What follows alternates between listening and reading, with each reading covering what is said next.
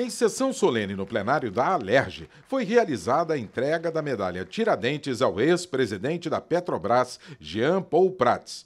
A iniciativa foi do deputado André Correia. É um dever de justiça dessa casa, aprovado é, por unanimidade entre 70 deputados, é, porque o presidente Jean Paul deixou legados extremamente importantes para o estado do Rio de Janeiro. Para citar alguns, ele redefiniu né, a, o Comperge, que era um elefante branco que estava parado, era um projeto minúsculo, né, e hoje o complexo Boa Ventura é um complexo de multienergia, de não só gás, mas de biocombustível. Né. Ele teve uma atuação fundamental na revitalização é, dos, dos, de petróleo antigos, que estavam é, já no fim da sua vida útil e vão ter mais 10, 15 anos no sentido de royalty.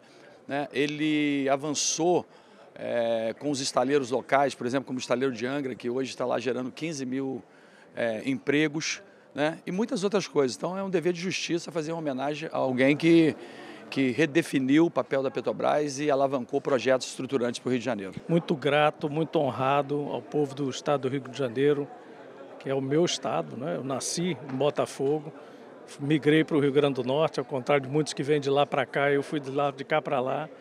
Mas agradecido ao deputado André Corrêa, meu amigo de longa data de Valença, e por essa homenagem. Na verdade, essa eu sempre considero esse tipo de homenagem um novo começo, um começo de reconhecimento, mas também de compromisso com o Rio de Janeiro. Jean Paul Prats é advogado, economista, ambientalista e empreendedor.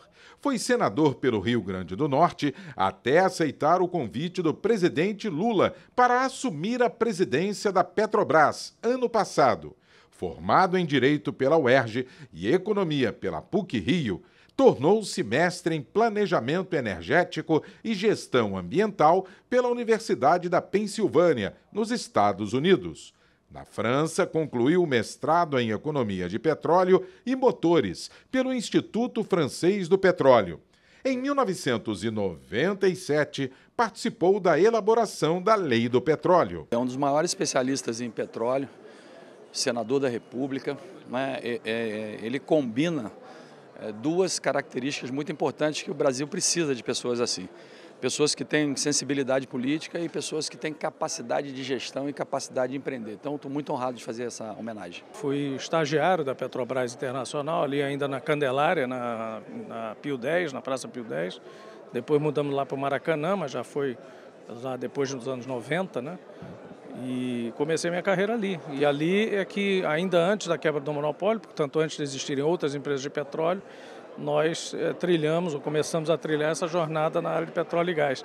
Depois tive uma consultoria aqui, que foi a maior consultoria brasileira de petróleo e gás é, no Rio de Janeiro, sediada no Rio de Janeiro durante bons vinte e tantos anos, até pelo menos 2015. Eu fiquei lá até 2005, foi quando eu migrei para o Rio Grande do Norte. E aí lá fui ser senador e ser presidente da Petrobras, graças a esse outro rio, né? Então estou entre dois rios, mas estou muito feliz.